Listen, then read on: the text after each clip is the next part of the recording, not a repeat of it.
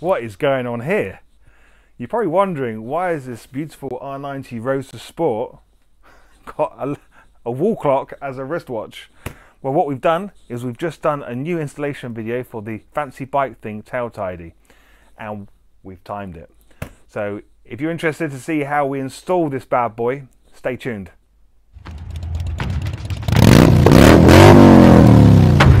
Right, morning guys, it is, you know, I have no idea what date it is today. And the date today is Wednesday, the 13th of February. Okay, have you ever seen an R nineT with such an amazing wristwatch? I'm going to record the installation, leaving that on there so you can see there's no trickery when I start saying it only takes 15 minutes. I reckon I can probably do it in 10. It could be 20, who knows. Um, but I'm going to show you exactly how your package will arrive in one of these. And uh, right from start to finish if you were a customer ordering this kit receiving it opening it and applying it to your bike. So I'm going to bring the camera a little bit forward. I had to put it right out there because I'm so frigging tall. Um, and it can't always fit in my head and as you can see from some previous videos. Now I have made a mistake because on the last video I'll stick a link just here or here somewhere. I'm not very good at this editing stuff um, I did say that the, that the last video would be an installation video, but it wasn't. It just showed you the difference between the new light and the original light. So if you haven't seen that video yet, I really recommend you to, to go and see that because what we're going to do today is actually install the original light because I'm waiting for a, a big load of stock of the brand new light. So whilst we're waiting for that, I thought I'd quickly make a video today showing you how to install it. It looks the same, but obviously the, the brightness of the run light is different to the original with the new one. So have a look at that video. I'll put a link up here so you, so you can see it. Um, right, okay, so I'm going to bring the camera forward, and the whole idea is I'm going to, keep, to keep that clock in the camera view the whole time because I am going to fast forward certain parts of the video, but that's not going to lie. All right, so so that's going to keep going around. So the time now is uh, 22, 21, 22 minutes past 10 in the morning. Um, so hopefully we'll get this all uploaded on YouTube today. Right, let's bring the video over, the camera over here. Right, okay. Ooh, so sorry if you can't see my head, you might be able to see it. Um, it's the problem when you're doing these videos alone. I can't always uh, see what's going on. This is all actually being recorded on an iPad Pro. Um, right, okay, so you can see the clock. Sorry, it took me quite a while to set it up. Um, so we're going to open the bag. God, this is a struggle as it is already. Waste of a DPD mail bag. so, this is what you get. Open this up.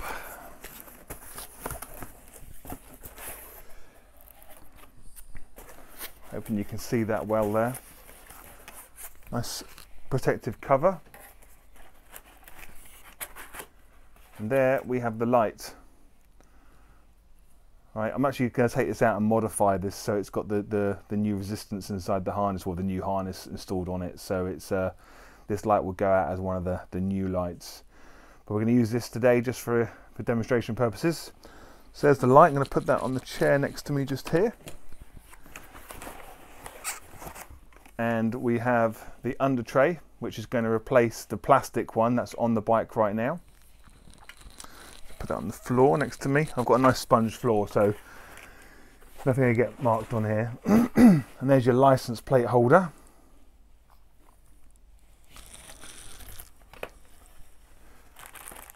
A bag of bolts. Now, we're, probably, we're actually probably not going to need these bolts at all um, because the OEM ones that are on the bike fit it perfectly fine. But um, I always like to throw a spare bag in there just in case. They are hex heads, um, so they're not the Torx ones like you get on the bike, but like I say, you can use the OEM Torx heads that are already on the bike. But we'll leave them, leave them to one side. And we've got a little uh, license plate light as well. And then the bit which you probably won't be using, but I, it, it comes in the kit. This is the little um, optional turn signal bracket so if you want to, you can fit your original OEM turn signals to this tail kit. and it just fits underneath the under tray and you literally bolt them onto the side. It's the same fittings that you have on the side of here and you can put them on or you could stick on some other like Rizomas or, or Wunderlich turn signals. So I'm to put that down there to one side. so we're going to start recording now. Oh, sorry, we're going to start the install, excuse me. So the first thing we need to do is remove the rear seat or the rear cowl. In this case, it's the rear cowl. And all you need for this is a set of straightforward Torx um, keys, um, or if you've got Torx pieces, I've got a little um, a little set here of uh, lots of different choices there, and there's some Torx heads in there as well, and a little screwdriver. Or if you're really really cheeky, use a little electric one. So, literally just underneath here, there'll be a large bolt to remove.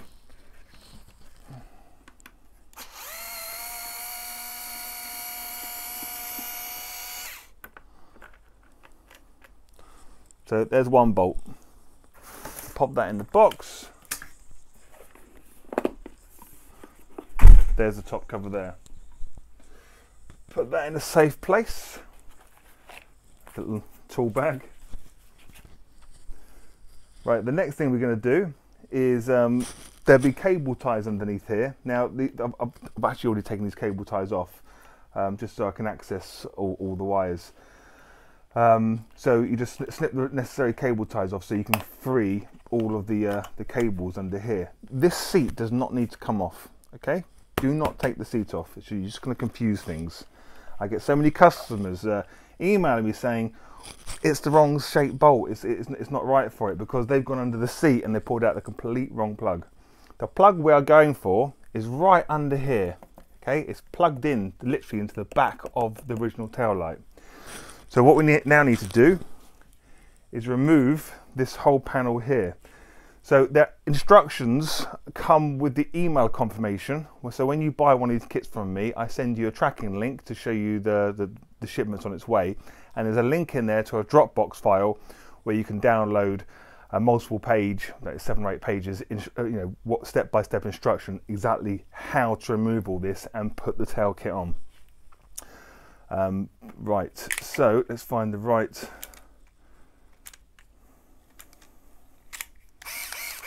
Right, okay, so there's four bolts, one, two, three, four under here. They're the only ones there. And then there's another three bolts pointing this way just behind the, the license plate. So let's start taking them out.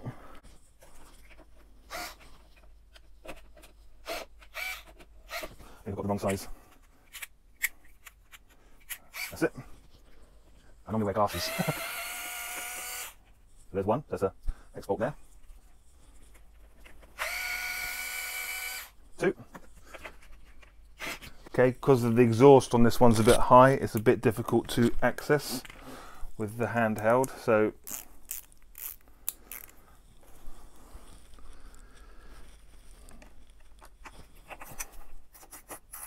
I haven't, I, you know, I'm not even keeping an eye on the time, so we'll, we'll see on the video how long this takes. Obviously, I am talking to you, so you need to add another five, six minutes to the time.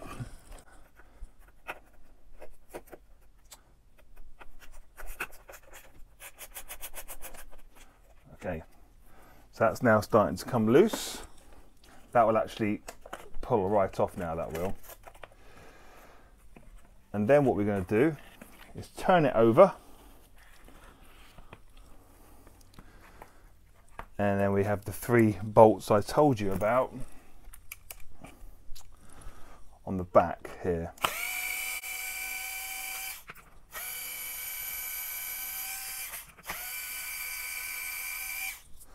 Right, so this now comes apart here, so that comes off. And that exposes the plug that we're looking for at the back, which is just there.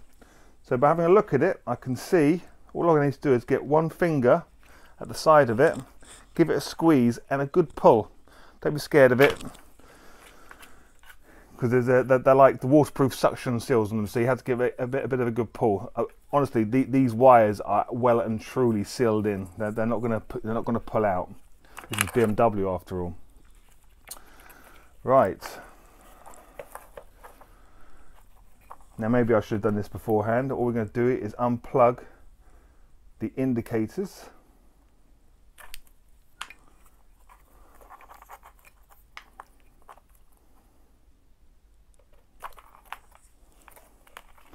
And there we go.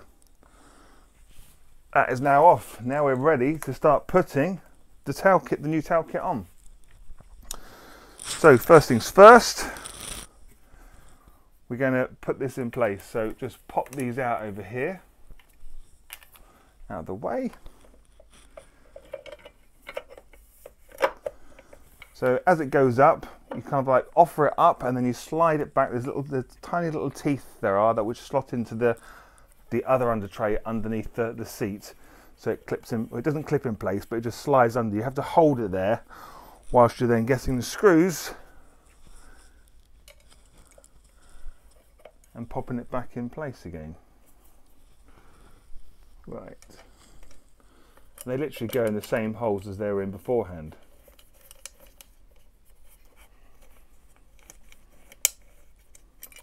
Not have much luck here at the moment.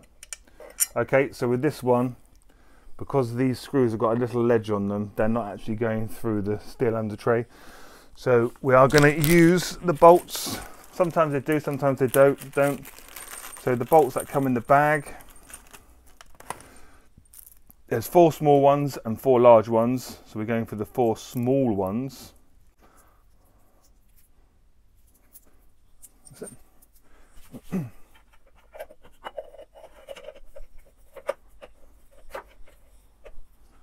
So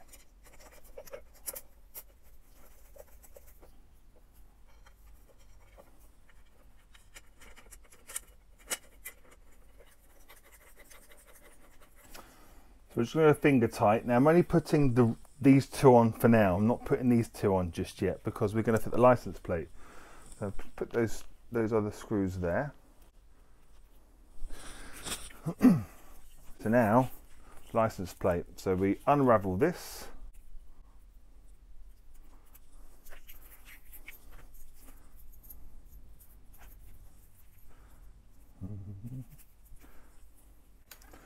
Okay, and we thread the the wires through one by one.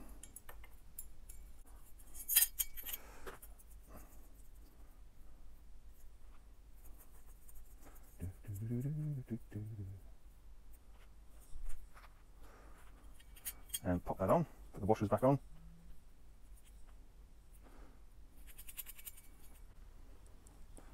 So not everybody uses this license plate light, so that's why I like to keep it as an option if you want to remove it and uh, mount your license plate on the on the swing arm.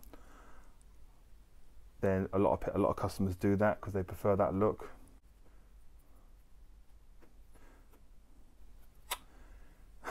I'm just trying to get a bolt on the end of a thread, and I'm really struggling. Okay, there it goes. Okay, I need to get some pliers to, to just give them that give that a tighten up. I'll, I'll do that later. Uh, there's a little cover if you want that to go on there as well. Don't have to put it on there. That, that clicks on, so I'm not going to put it on just right now. So now that's like that. Because we didn't put these on straight away, these share the same hole. So we're going to put the bolts through here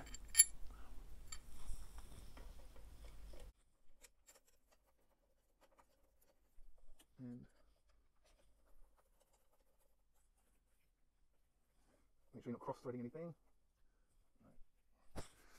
Allen key setting. Nope. Allen key. Oh, they're already here, aren't they? No, I'm going to have to surrender to the specs. That's it.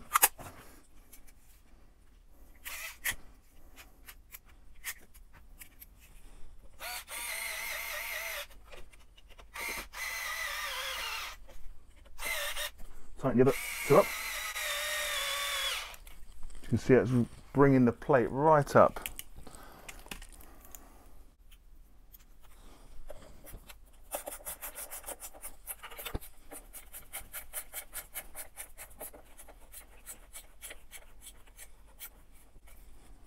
That's good.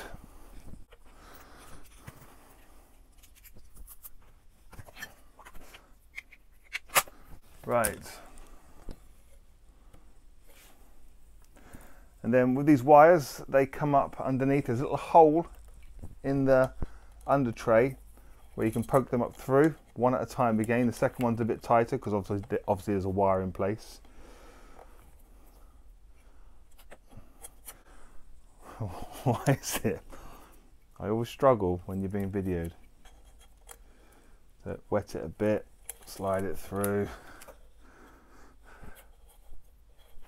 Right. So that's now there. Right.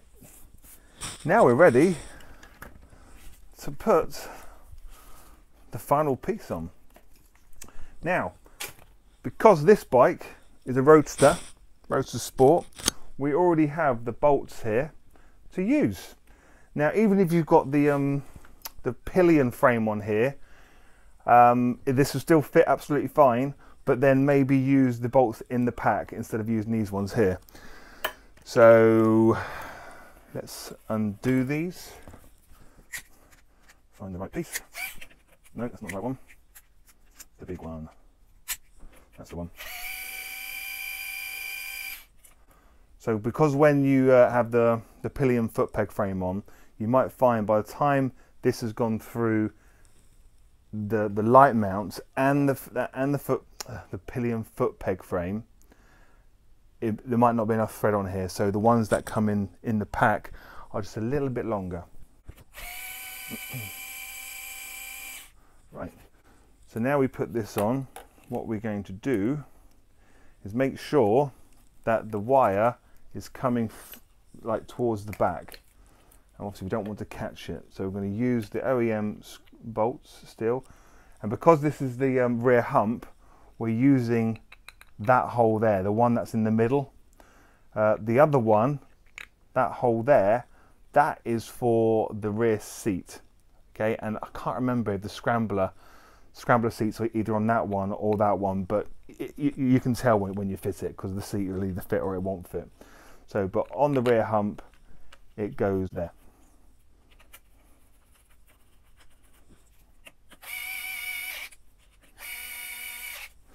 Right.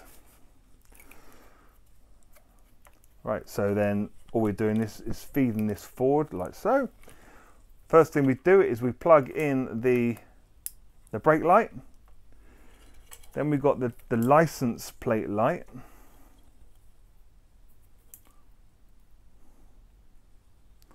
Plug that in plug that in now quite frequently these license plate lights are wired back to front. Um, the wiring on my harness is spot on of course.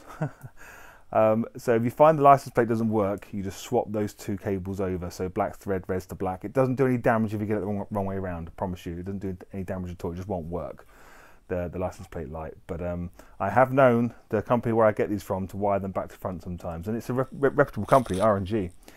Um, but I haven't seen it for a while. It's a, a, few years ago when when we noticed it. Then we put in the uh, these now. Don't push them all the way in. Don't click them all the way in because we don't know which one's left and which one's right.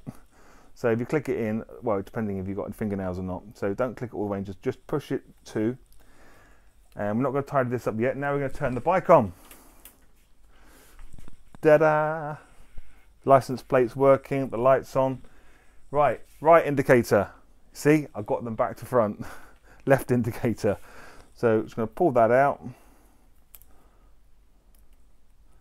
That's just sod's law, isn't it? You know, I, I'm probably one of the most unluckiest guys that I know. Well, that's probably not a fair comment to say. So now I'm pushing them in and clicking them all the way in. And now you can see we have right indicator, sorry, right, left, and hazards. And there's your brake. Right, okay. So there we have it. So now we're at this stage. All we do, I was going to turn it off, but I'll leave it on because it's so pretty. is um, well, it's up to you how you want to um, tidy this up. You've got plenty of room in here to fit all this in and put your tool bag back in there again. But um, the only thing I'm going to make you aware of is inside here. Obviously, you've got you've got certain parts of the harness, and there's uh, there are resistors in here. Um, if you start bending these severely, of course you you might do some damage um, to the, the solder connections inside the harness. So all I say is, as you're filling along here, you've got wires here, and then where it's a bit lumpy, just here, try not to bend that bit. You can bend all these bits here, bend this bit down here, but try not to bend this bit here, just just here. Uh, we have had um, lights come back in the past where that, that, that they've been bent so severely. Not a lot, probably about five in the last four years, but um, just just be very very careful where you're bending. Okay. So lay that in like so.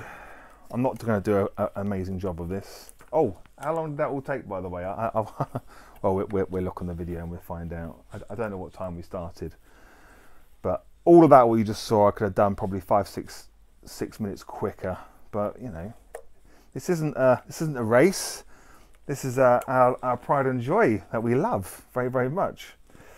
Right. Okay. So that's like so. Put the tool bag back in. And put the seat back on. Sorry, the rear cowl or, or, or the pillion seat in some people's cases. And look at that, it's just, it's just a perfect fit. Uh, and then the OEM bolt, or as you can see in the pack, you get a longer bolt if you struggle to get that in, especially if you've got a rear pillion foot peg um, frame on your bike, you, you, you won't get that in. You might make the first few threads make contact, but don't risk it. Just put the longer bolt in there. But in this one, this the original will fit in here.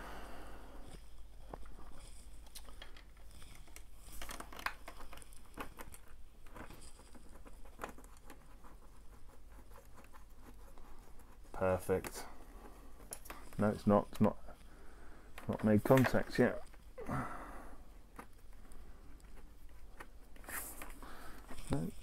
Do you know what? I'm going to use the longer one.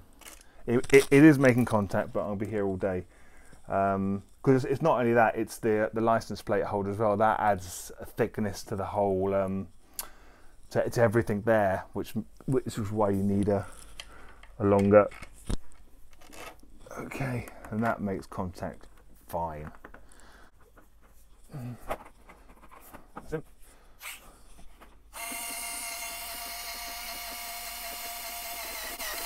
There we go. Lovely. And then to fit your license plate back on, because some people um, get smaller plates, uh, and I, I, also appreciate there's a lot of people who uh, live all over the world and they've got different types of license plates. What I recommend people to do, let's see if I can find one on my workbench, is go on to Amazon. Amazon's great, isn't it? Just order a load of these 3M double-sided sticky pads and you cut them to shape. And you, all, you do, all, you do, is clean the surface here with an alcoholic wipe uh, and clean the, the back of your license plate and literally stick them on. It's the best way you can't see it once it's on because it's it's in between the two you just can't see it at all. Um, that's the best way that is it really is rather than drilling holes through your license plate. Um, now there is a USA adapter that comes with this. Actually, I'll quickly fetch that. I forgot about that because I appreciate there are there are customers in Canada and USA. So we have these as well. So with this, as you can, see, you can see it on the website for an extra, I can't remember, um, I think it's about 25 or 30 pounds. This literally fits on the back like so, and it comes with all the fittings on it. And so these holes here line up with the uh, Canadian and uh, USA license plates if you really want that. But I, I just say just get self-adhesive pads. It's the best way. That, that's how a lot of the very nice cars in England, you know, you, you won't see a Bentley or Ferrari with screws going through the, the license plate. They're all stuck on using 3M pads. That's it. Oh, then we have this. So, if you don't want to use the indicators on here, all you do is they've got little cutouts here. You know, those, those little um, those little loops that are underneath uh, your tail. For I think I think they're for strapping things to. Um, if you've got the, the seat or uh, like a rear rack or, or something. So those cutouts are to go around that they are, and it literally fits up there. There are two larger bolts in the pack, and there's uh, threaded holes on the under tray, so you can literally fit that up onto there, and you can fit your original or some other aftermarket turn signals which go onto here. And then all you have to do is take the top back off again, unplug the turn signals and plug the new turn signals into the BMW harness. It's simple as that.